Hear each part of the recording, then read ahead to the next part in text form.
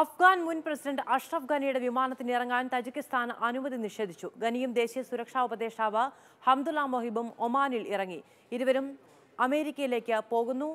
P. Basant ചേരുകയാണ്. കൂടുതൽ വിവരങ്ങളുമായി ബസന്ത് രാഷ്ട്രീയാഭയം ആവശ്യപ്പെട്ടിട്ടുണ്ടോ? അമേരിക്കയോട് തജിക്കിസ്ഥാൻ നിഷേധിക്കാനുള്ള കാരണം വ്യക്തമാക്കിയിട്ടുണ്ടോ?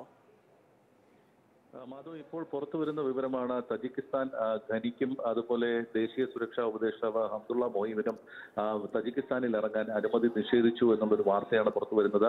ഇന്നലെ വൈകിട്ട് ഇരുവരും അഫ്ഗാൻ വിടുമ്പോൾ തജിക്കിസ്ഥാനിലേക്കാണ് ഇരുവരും പോയത് എന്നായിരുന്നു പുറത്തു വന്ന വിവരം. തജിക്കിസ്ഥാനിൽ രാഷ്ട്രീയ അഭയം തേടിയേക്കും എന്നുള്ളൊരു വിവരവുമാണ് പുറത്തു വന്നത്. പക്ഷേ ഇപ്പോൾ വരുന്ന വിവരമാണ് ഗസി ഖനിക്ക് അനുമതി നിഷേധിച്ചു എന്നുള്ളത്. ഇരുവരും തജിക്കിസ്ഥാനിൽ നിന്നും ഒമാനിലേക്കാണ് പോയത് എന്നാണ് പറയുന്നത്.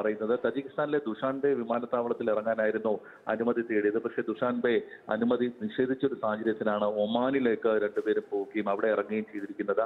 അവിടെ നിന്ന് അമേരിക്കയിലേക്ക് പോകുമെന്നാണ് ഇപ്പോൾ മനസ്സിലാകുന്നത്. അങ്ങനെയാണെങ്കിൽ താലിബാനും അമേരിക്കയും ഉണ്ടാക്കിയ ഒരു ഒത്തുതീർപ്പ് കരാറിന്റെ അടിസ്ഥാനത്തിലായിരിക്കണം ഇപ്പോൾ അമേരിക്കയിലേക്ക് ഖനി പോകുന്ന ഒരു സാഹചര്യം വരുന്നത് എന്ന് വേണം വിലയിരുത്താൻ.